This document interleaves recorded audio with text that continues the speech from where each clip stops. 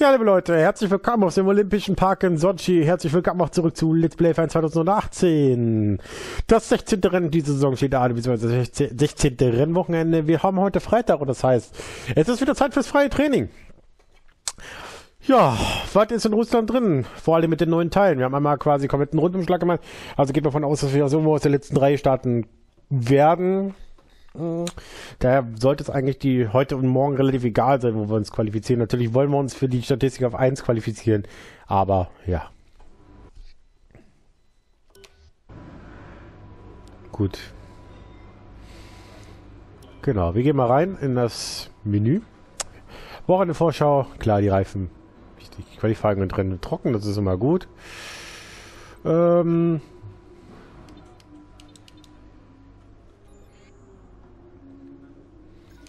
So.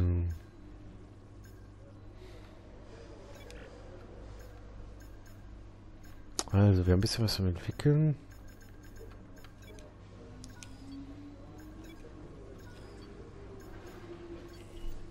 So, auch für die neuen Saison schon die Teile am Anfang äh, einmal. Und dann gehen wir rein. Jetzt erste freie Training in Russland. Ja, guck mal, was drin ist. Wie gesagt, hoffe natürlich wieder ein Sieg. Weil in Singapur tatsächlich, huh, naja. Hier sind wir im faszinierenden Sochi Autodrom in Russland, wo uns ein spannendes Rennwochenende erwartet, das gleich mit dem Training beginnt. Stefan Römer ist wie immer hier und wird uns durch den heutigen Tag begleiten.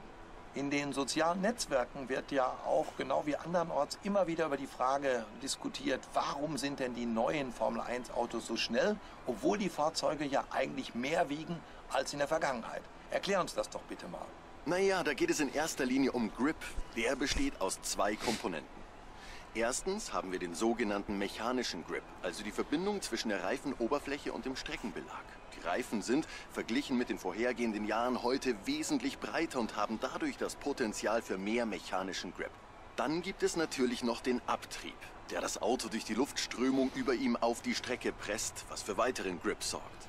Diese Autos haben ungefähr 20% mehr Abtrieb, was mehr als genug ist, um das zusätzliche Gewicht auszugleichen. Hm. Ja. Wir gucken aber überhaupt auf, auf das Wetter, was, das, was die Trainings betrifft. Training als trocken, Training 2 ein bisschen nass, okay. Ich das gerade richtig gesehen? Das war zwei Training 2 ein bisschen dringe, aber jetzt auf 45 Minuten, naja, es ist egal. Äh, so, gehen wir rein. Ähm, ja, die ist super. Perfekt, passt. So. Setup laden. When you get chance, make sure to run some of our practice. They don't all need to be done in one session, but there's valuable data there to help race Ja, wir gucken mal, was drin ist. car development.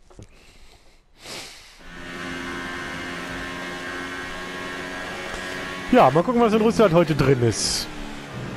Also dieses Rennwochenende drin ist. 50 Plätze Gridstrafe, ja.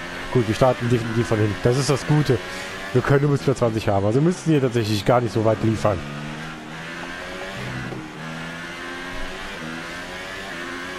Weil ich dir gesagt habe, wir haben einmal komplett den Rundumschlag gemacht. Das Auto ist komplett, also komplett neu aufgebaut. Für die letzten sechs, fünf oder sechs Rennen? Fünf sind es, glaube ich. 16, 17, 18, 19, 20, 21, sechs mit dem hier noch. So, ja, dann starten wir mal durch.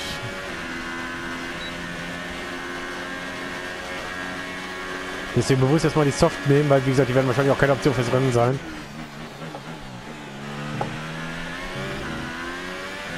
Wahrscheinlich werden wir eh anders fahren als alle anderen.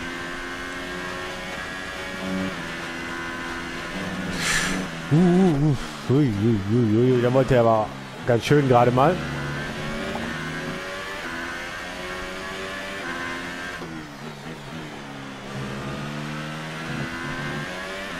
Wir können also quasi bis morgen befreit an, die, äh, an das Rennen gehen.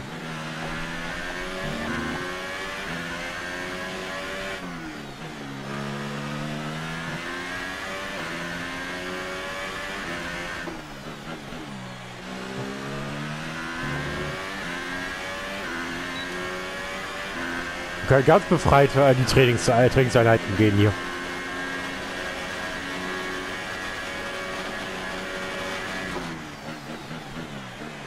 Schön in so einen Tunnel durch hier.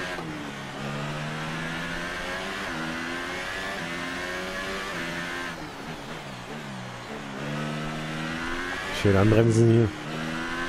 Gucken, wie die Trainings gleich werden, wie die Ergebnisse werden.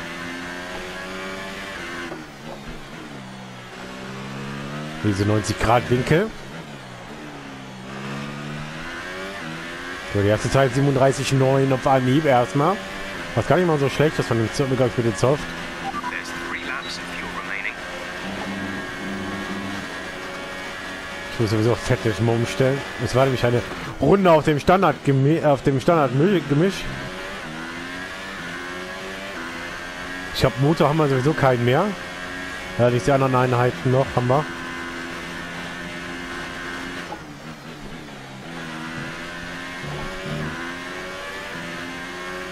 Momentan die Führung vor Esteban Ocon, der ebenfalls auf Soft unterwegs ist.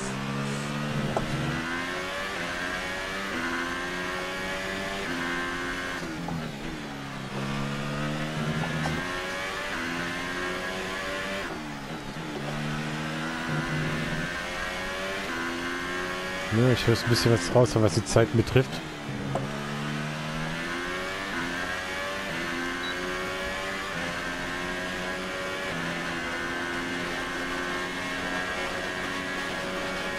So. Anbremsen unterm Tunnel.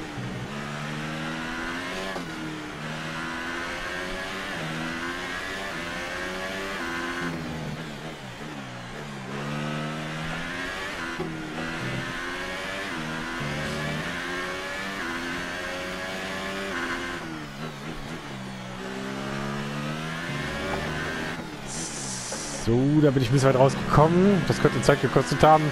36,2 auf dem zweiten Versuch.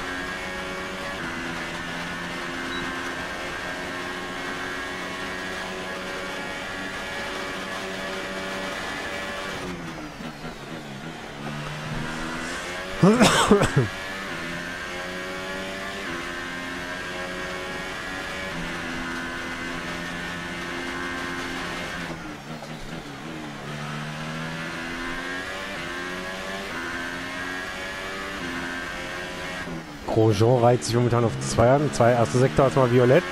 Mehr als eine halbe Sekunde vorne.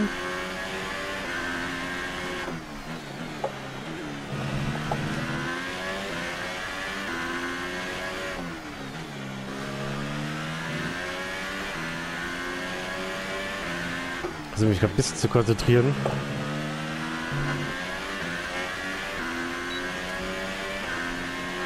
Vielleicht können wir noch mal eine Zeit setzen. Vielleicht können wir eine 35er Zeit noch mal setzen.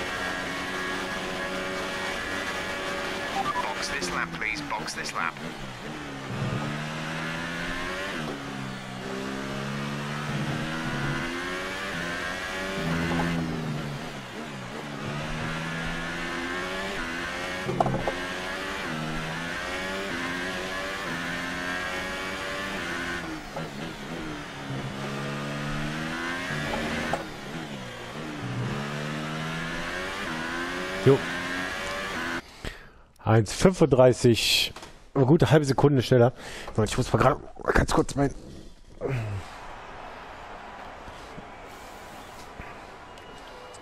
Mein Fernseher davon, da, äh, davor bewahren, ausgehen. Also die Frage ist, wie weit sind die Zeiten? Oh, die sind ja deutlich vorne. Auf Soft gemerkt. Wir fahren vor, vor, vor Carlos Zeit. Also wir sind auf jeden Fall voll bei der Musik dabei momentan. Wenn nicht diese blöde Quitstrafe wäre. Wobei Sainz und Perez auf Hypersoft unterwegs sind. Hamilton jetzt auf Hypersoft auf 2. Ja, unter einer halb, äh, halb, knappe halbe Sekunde hinter uns. Ja, läuft momentan. Mit dem Auto. Und ohne diese letzte Runde wären wir tatsächlich nicht auf 1, glaube ich, gelandet. Dann wären wir nämlich hinter Hamilton. Wie gesagt, der Mercedes fährt mit Hypersoft. Alle Autos sind über die Ziellinie und die Top 3 stehen nun fest. Richter, Hamilton und Carlos Sainz Jr. Die Trainingsbestzeiten stehen fest, aber die Punkte werden natürlich erst beim Rennen vergeben. Wir sind bald wieder mit noch mehr Formel 1 zurück. Ja, aber wie gesagt, ich sehe das mit ein bisschen. Ich sehe das gerade ein bisschen. an. Wie gesagt, ist es schön, dass wir jetzt auf 1 stehen. Also es ist schön, dass wir auf jeden Fall dabei sind. Auch was die Softreifen betrifft. Die Fans haben das wirklich genossen. Bei ihnen sah das leicht aus.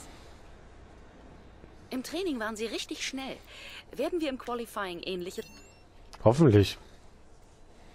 Sie haben heute ein paar Teile auf der Strecke gelassen. Gab es Schwierigkeiten mit der Traktion? Ach, wird schon.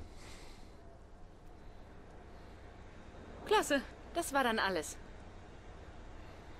So, einmal kurz von dem Verklär, glaube ich, heißt sie, abgefangen.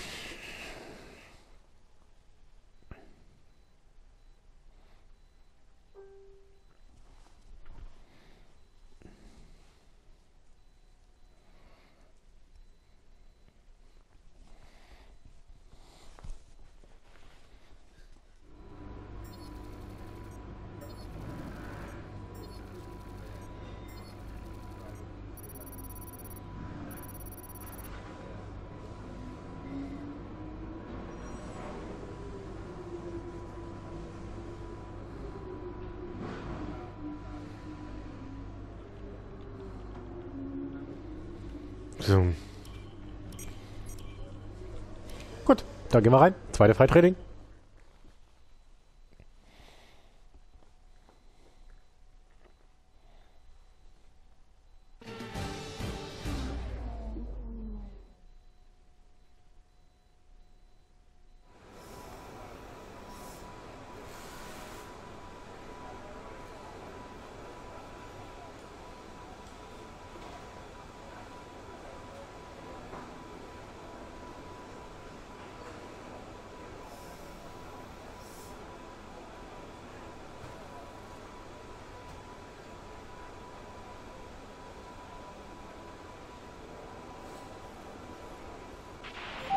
At some point before qualifying, let's get our track acclimatization program complete.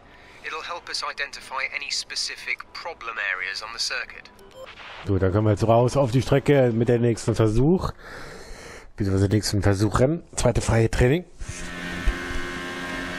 Jetzt mal mit den Ultrasoft-Reifen.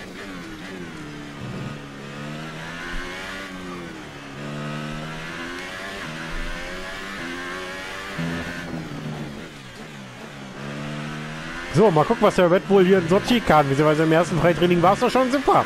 Mit einer guten halben Sekunde vor dem Mercedes, trotz der Hypersoft. Und wie sie die Soft-Gefahr, die langsamste Mischung.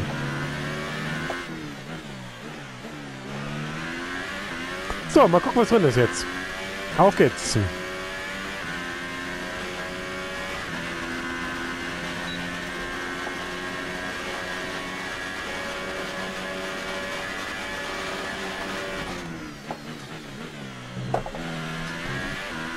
So, mal gucken.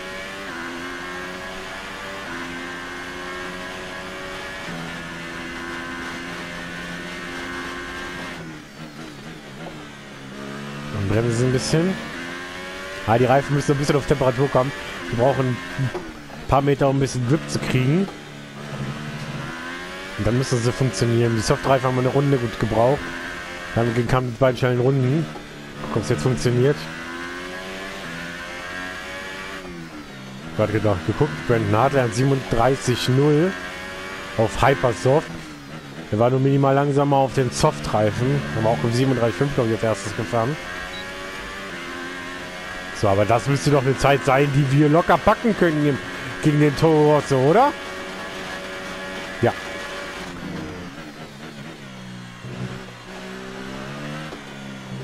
Wobei ideal ist die Runde definitiv nicht, was wir hier haben. Da müssen wir noch eine Nochmal einen Versuch setzen.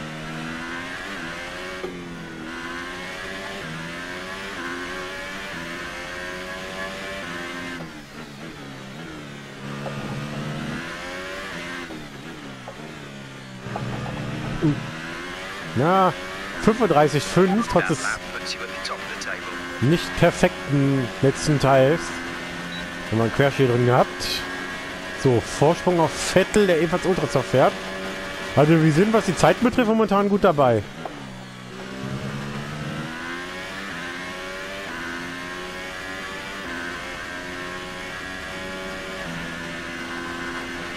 So, ein bisschen weg von der Leerlinie, weil die manchmal ein bisschen rutschig ist. Da kommt gerne mal das Heck. Das haben wir beim ersten Training gesehen. Unsere erste Stellenrunde. Jetzt haben wir grün. Drei Runden nochmal. Noch. Ich halte das jetzt gerade mal ein bisschen im Auge.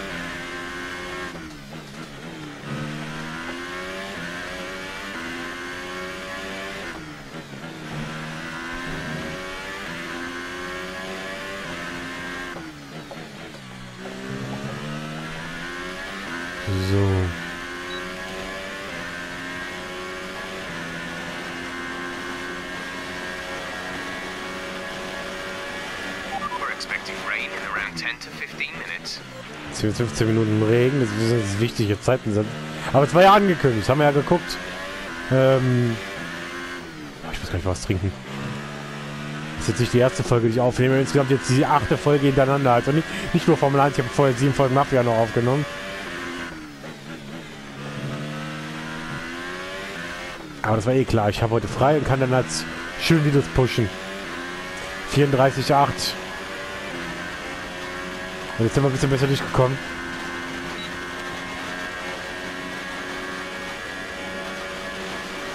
Jetzt sind wir momentan vor Alonso und Hartley. Also Vettel in seiner Zeit überhaupt nicht mehr dabei oben. Allerdings fahren Alonso und Hartley auf Hypersoft.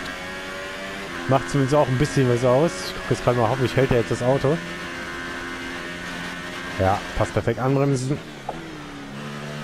Leichter Quersch, ja, leichter Rutscher mit drin in der Runde, in der Kurve.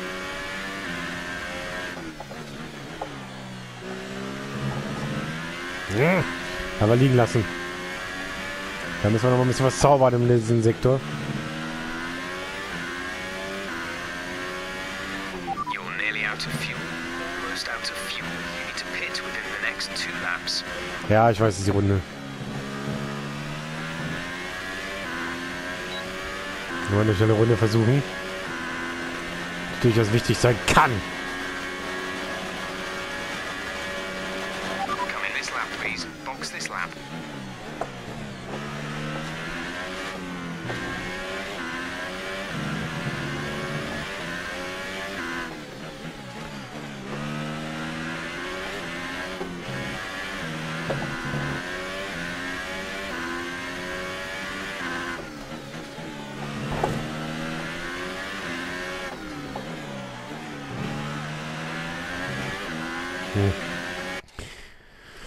Nee, da sind wir überhaupt nicht so gut durchgekommen.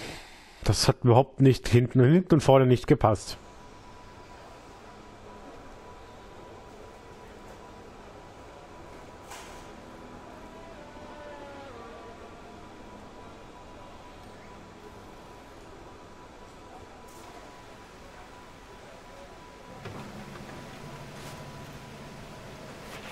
So far, our fastest lap is a 1 minute 34.8. So, dann lassen wir die Zeit jetzt mal durchlaufen.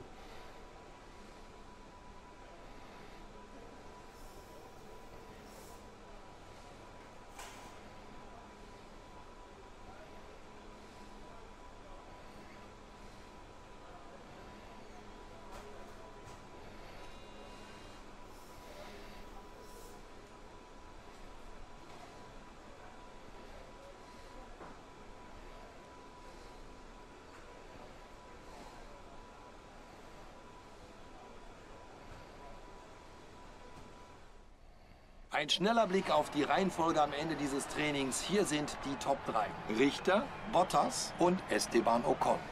Ein interessantes freies Training geht zu Ende. Freuen wir uns auf noch mehr Spannung im Laufe des Wochenendes. Jo. Auf eins, zweite Mal auch mittlerweile. Also scheinen wohl irgendwie. Jetzt müssen wir gucken, was die Hypersoft noch machen. Also die Soft und die Ultrasoft, die tun es auf jeden Fall. Die zeigen uns auf jeden Fall, das geht. Im ersten Teil war es eine halbe Sekunde, jetzt haben wir eine knappe Sekunde vom zweiten. Also, wenn wir jetzt mit der Hypersoft nochmal äh, anderthalb Sekunden schneller sind als alles andere, können wir trotz der Gridstrafe im Rennen, ja, durchaus was aufholen. Gut. Gehen wir rein. Dritte Freitraining. Auf geht's.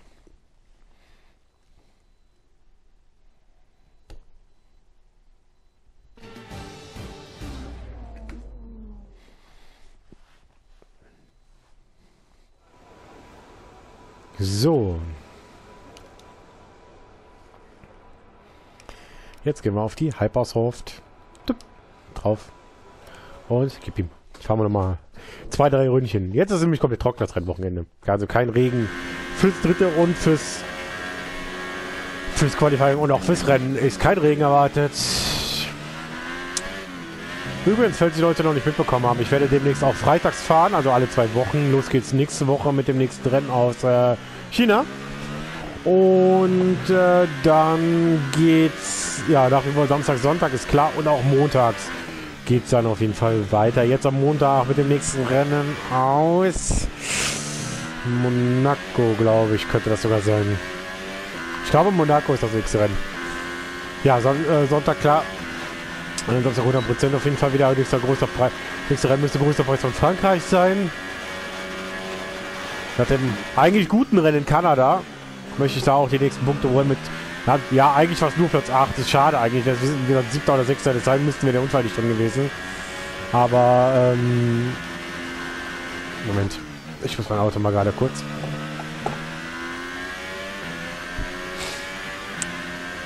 Da müssen wir nochmal ansetzen in der Runde. Ja, Sonntag nach dem Disconnect, die technischen Probleme aus Baku, wo dann am Ende nur vier Autos ins Ziel kamen. Also da wäre dicke was drin gewesen, wäre sogar ein Podium drin gewesen. Ähm, geht es jetzt weiter mit dem nächsten Rennen aus Australien. Da lege ich auch wieder ein bisschen die Hoffnung rein, dass es da wieder gut geht. Weil Australien war ich gar nicht mal so schlecht, habe ich ein gutes Setup. Das ist halt war ein Traum. Das hat sich auf jeden Fall in den letzten Rennen sehr gut angefühlt. Jetzt schauen wir mal, ob wir es heute aber es wieder hinkriegen.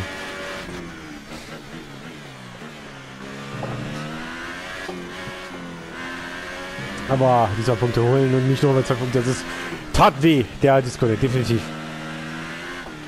Carlos Sainz mit der 39,2 auf Soft. Na gut, die Zeit sollten wir schnappen. Also zweimal Platz 1 hatten wir auf jeden Fall schon.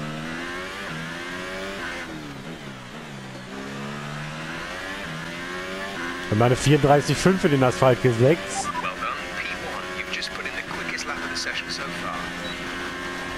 Aber ich glaube, wir waren mal 5 Sekunden schneller als Carlos Sainz.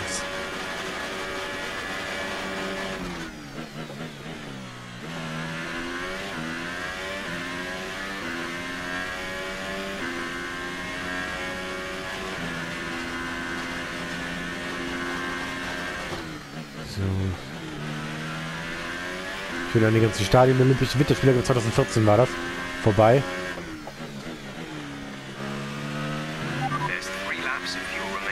Ja, das weiß ich auch.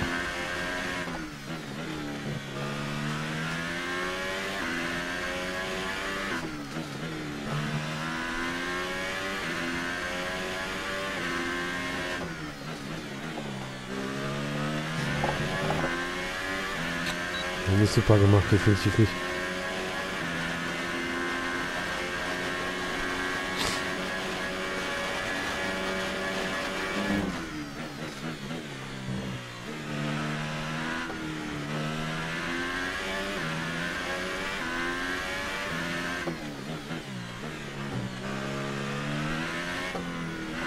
So, mal kurz versuchen, uns im letzten Teil noch mal was zu holen ist.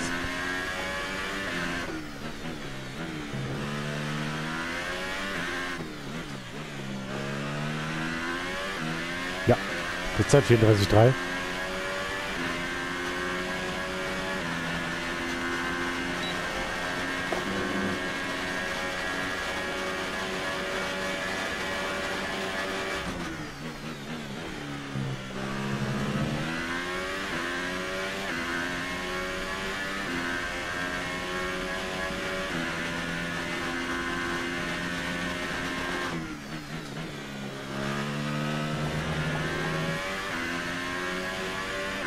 So, momentan die Führung vor Sainz und Vettel.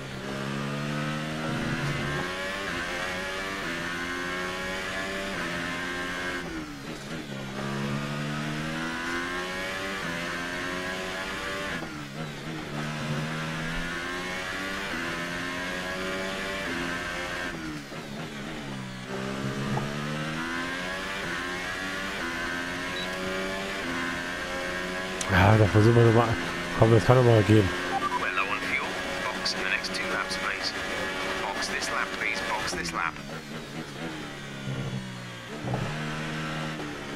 Uh, das war nicht gut.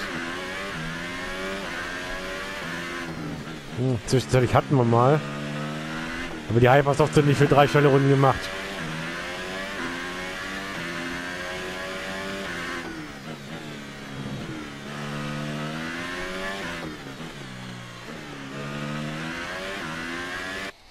Die sind nicht für drei schnelle Runden gemacht.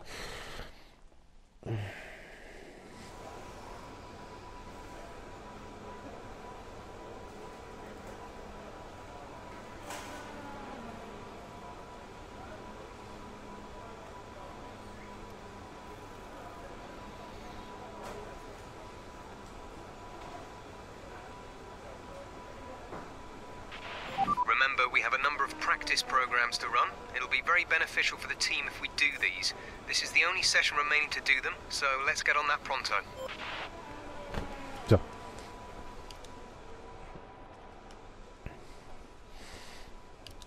So, was die Rundenzeit betrifft, zwei Sekunden, das ist natürlich heftig, die Zeit. Also wir sind definitiv sowas von dem Soll.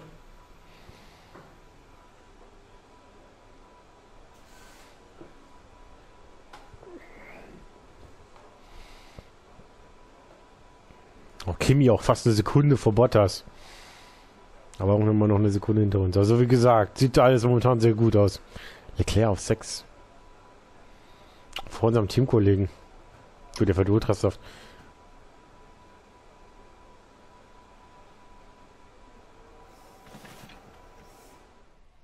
Ein interessantes Training schauen wir uns noch einmal die Top 3 an. Richter, Raikönen und Lewis Hamilton. Danke, dass Sie heute beim freien Training dabei waren. Wir sind in Kürze mit noch mehr Formel 1 zurück. Oh, das war das freie Training. Für den Freitag.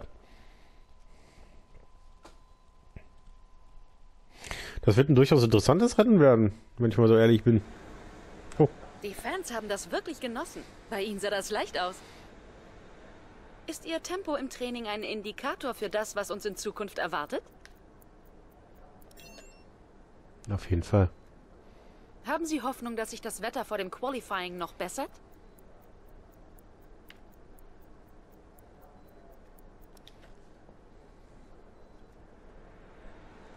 Klasse, das war dann alles. Ah, das wird das so gut fürs, fürs freie Training.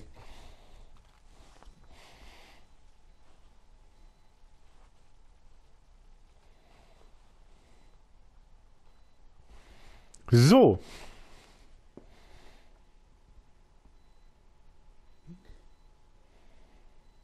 Das war dann schon mal das freie Training.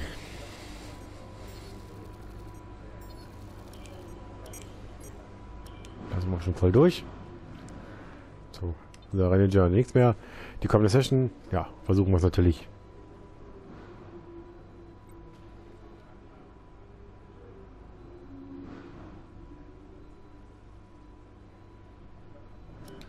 Genau, dann würde ich sagen, machen wir hier mal Feierabend. Wir sind in der nächsten Folge wieder bei Let's Play ähm, F1 2018 mit dem Qualifikationstraining. Das sehen wir dann morgen. Heute, das freie Training war doch schon mal gut.